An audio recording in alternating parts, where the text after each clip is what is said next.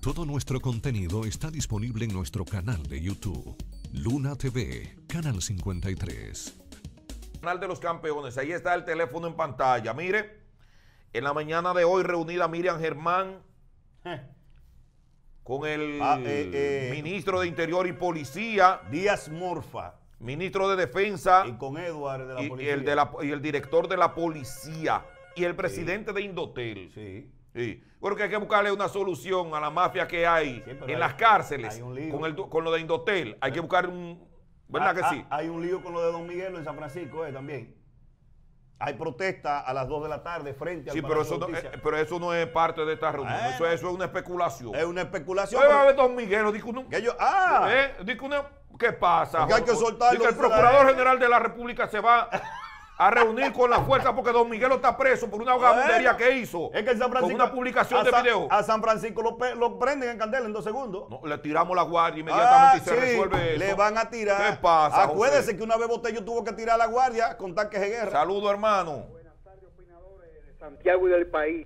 Bienvenido. Buenas. Dice Don Miguel, ¿qué pasa, Jaime José? Tomás, Jaime Tomás, que no se equivoque. ¿Eh? Suelten a Don Miguelo. Jaime Tomás, que no se equivoque. ¿Qué Los- pasó? Los opinadores, David y José. Él lo sabe, se pueden inventar, se quieren montar en la ola. Sí, pero ahí no, Sí. se, ahí no se va a montar, no. No. Ahí, no ahí no tiene para esquiar ahí. Sí, Oye, ya lo sabe. eh, ustedes verán, muchachos, cuando venga la auditoría de Punta Catalina, ahí es que el país va a llorar. Je. ¿Ustedes ven eso de la nómina? Eso va a quedar chiquito. Hermano, Punta Catalina, mira, es de norte, es de sur y es de este. El sistema eléctrico nacional. Se le hace una auditoría profunda y hasta los bisnietos de ellos van a caer presos. David, David José, Sí. Habla. todas esas construcciones con las adendas que alcanzan hasta un 200%. Una locura. Mira, eh, eh, el, país está destrozado totalmente, económica y moralmente. Esta gente barríen con todo.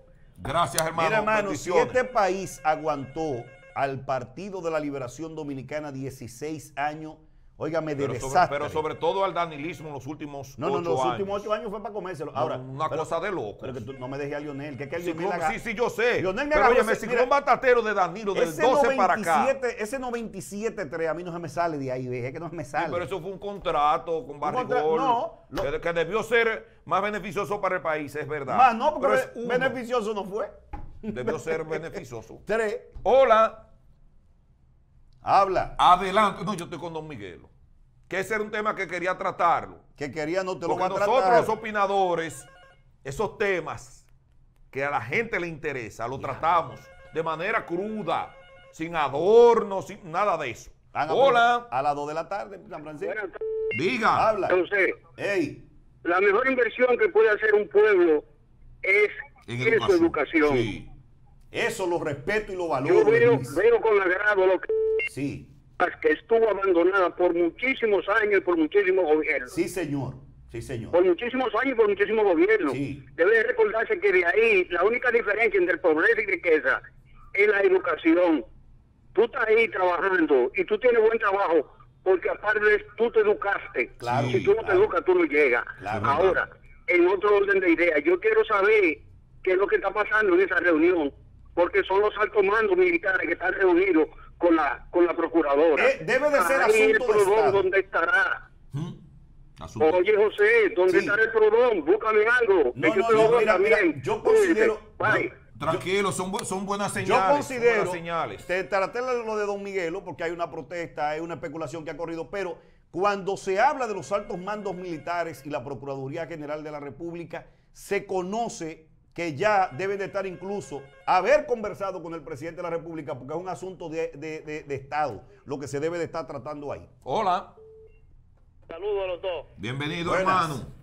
Miren, la verdad hay que decir que la corrupción ha arropado el país durante muchos años.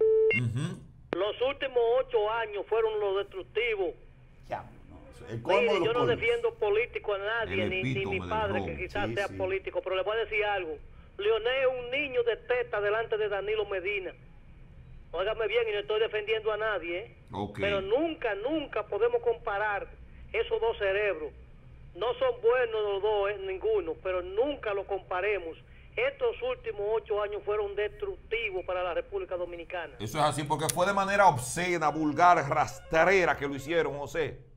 José, desplazaron a empresarios con, con comercios de 100, 80, Sí, pero- 75 años para ellos entrar a ese sector como Sí, sí, aves pero- de rapiña, hermano mío. Yo lo entiendo y lo reconozco, pero ¿a qué tú le, cómo tú le puedes llamar a una inversión de más de 200 mil millones de pesos en esa candidatura de Danilo de parte de Leonel Fernández y el Partido de la Liberación Dominicana? No, una locura, una locura. ja, no me digan que no, es que ah, por ahí va la corrupción, por ahí va la corrupción. Hola. ¿De dónde salió ese dinero? Saludos. Es que, es que nadie puede apartar No, eh, a, a Leonel de ahí. los ocho años de Leonel, lo- No. los 12 años, esos tres periodos de lo que hizo ¿Qué Danilo hicieron? Todo nuestro contenido está disponible en nuestro canal de YouTube. Luna TV, Canal 53.